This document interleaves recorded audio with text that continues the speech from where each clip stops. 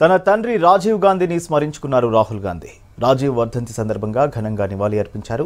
రాజీవ్ కలలే తన కలలని రాజీవ్ ఆశయాలే తన బాధ్యతని తన తండ్రి జ్ఞాపకాలు అప్పుడు ఇప్పుడు ఎప్పటికీ తన గుండెల్లో పదిలంగా ఉంటాయని భావోద్వేగానికి లోనయ్యారు రాహుల్ గాంధీ. రాజీవ్ గాంధీ సభలో తాను పాల్గొన్న ఫోటోని షేర్ చేశారు రాహుల్.